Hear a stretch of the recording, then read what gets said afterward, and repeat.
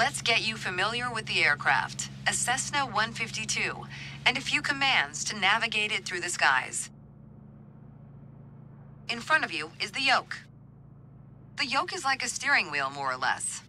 Turn it left or right to control the ailerons and bank the aircraft into turns. Look at the trailing edge of the wings while turning the yoke to see the effect on the ailerons. Okay. Now, the difference between the yoke and a steering wheel is you can pull or push on the yoke. This controls the elevator at the back of the aircraft to make it climb or descend. Look at the horizontal stabilizer while you pull on the yoke.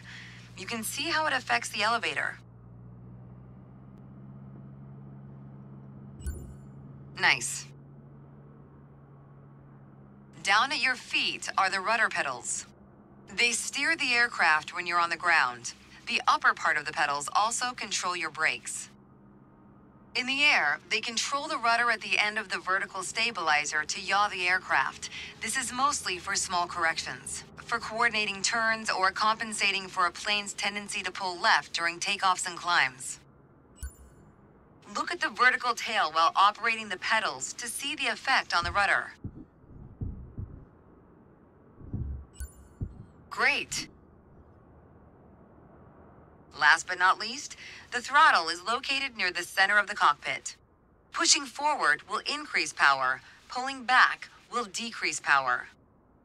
First, look at the throttle and select it.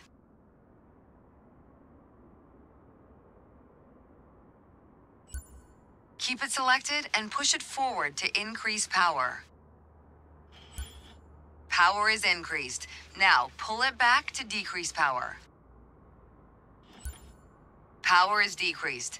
Now we'll do the same without focusing on it. Deselect the throttle. Look away from the throttle and increase power.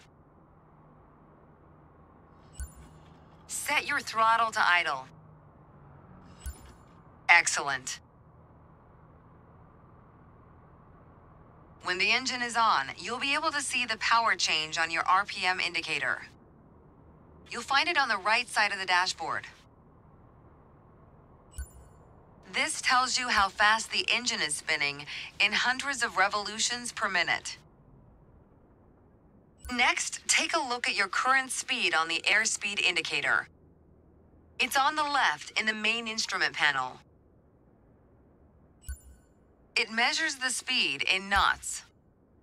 To check your altitude, look to the altimeter. It's on the right side of the main instrument panel. The altimeter has three hands, similar to a clock. The long, thick pointer indicates 100-foot intervals. The short, thick one is 1,000-foot intervals, and the long, thin one, 10,000-foot intervals. That's all for today. Next time, we'll see how it feels in the air.